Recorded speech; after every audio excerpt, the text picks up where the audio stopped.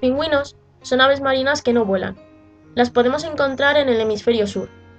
A estos animales se les llamó pájaros bobo porque tienen un andar muy torpe y parece que se caen, y además por ser un animal que no tiene la capacidad de volar.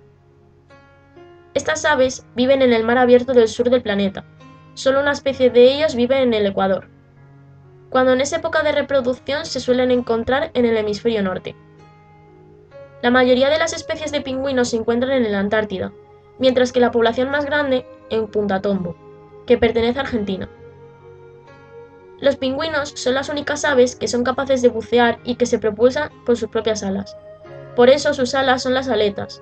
Los huesos son mucho más densos que los de otras aves y aumentan la resistencia de los impactos, y aumentan el peso del animal, haciendo que éste flote.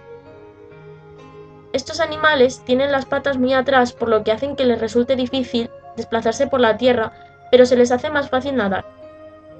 Tienen la capacidad de alcanzar los 60 km por hora, pero la velocidad normal que llevan está entre los 5 y los 10 km por hora. El tiempo que pasan debajo del agua depende del peso de cada especie de pingüino.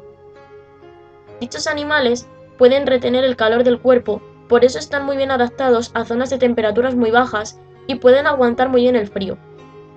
El plumaje que tienen consta de capas, una capa de grasa bajo la piel y un sistema de vasos sanguíneos especializados en aletas y patas.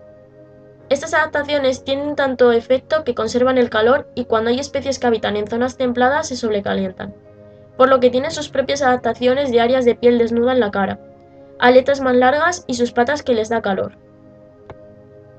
La mayoría de los pingüinos crean sus nidos en colonias densas y pueden llegar a ser territoriales.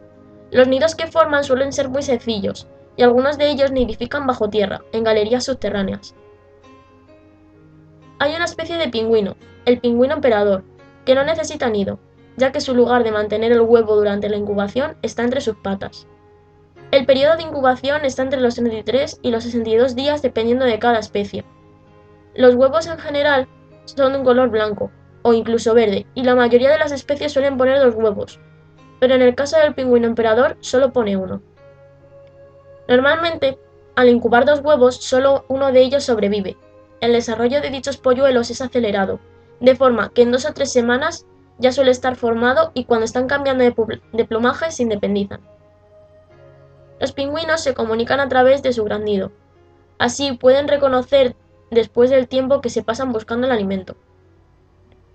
Los pingüinos se suelen alimentar de peces.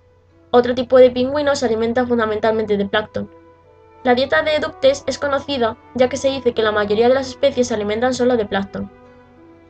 La dieta en todos los casos se complementa con cefalópodos o plancton. Todos los pingüinos contienen unas glándulas que hacen que eliminen sal cuando tragan agua de mar y hacen necesaria la ingestión de agua dulce.